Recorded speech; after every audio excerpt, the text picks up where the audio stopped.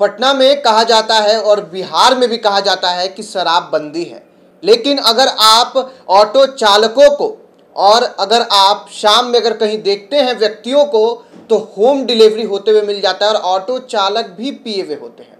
अब इसका एक प्रमाण मैं आपको दूँगा, जिसको देखकर आप साफ़ साफ़ तौर पे समझ जाएँगे किस प्रकार से अभी जो प्रशासन है, वो इस चीज़ को लेकर गंभीर नहीं हुई है। लेकिन ये बात हम ज़रूर कहेंगे कि प्रशासन आए दिन शराब माफियाओं को ज़रूर पकड़ रही है। लेकिन एक तरफ़ ऑटो चालकों की अपनी मनमानी बढ़ते जा रही है। नमस्कार, बिहार संवाददाता देख रहे हैं आप और मैं हूँ आपके साथ आशुतोष उपाध्याय।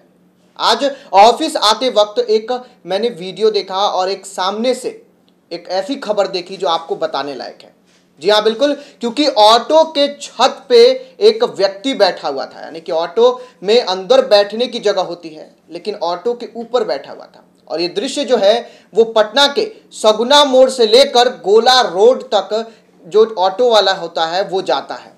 लेकिन उससे पहले अगर आप एक नज़र डालिएगा तो सगुना मोड़ पे एक चेक पोस्ट है, उसके बाद आरपीएस मोड़ पे है, फिर गोला रोड पे है, लेकिन उसको कहीं नहीं पकड़ा जाता है। हम आपको वो पूरा वीडियो दिखाते हैं कि जिस प्रकार से पटना की सड़कों पर ऑटो वाले और ऊपर बैठा व्यक्ति जो शख्स है, वो एकदम निडर होकर घूम रहा है।